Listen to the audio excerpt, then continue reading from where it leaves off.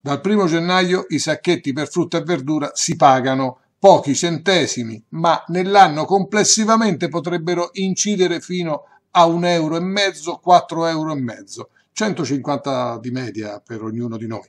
No al riutilizzo dei sacchetti bio quando si acquista frutta e verdura al supermercato, ma sia l'impiego di buste monouso nuove che il cittadino può portarsi da casa risparmiando.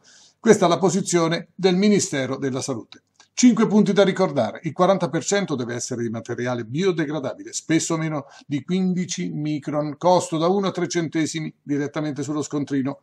Non li produce per buona pace delle polemiche solo la Novamont, che ne è l'inventore. Si possono comprare altri sacchetti e portarli da casa a patto che siano regolari. E per chi vende, se contravviene alla legge, multe da 2.500 a 100.000 euro.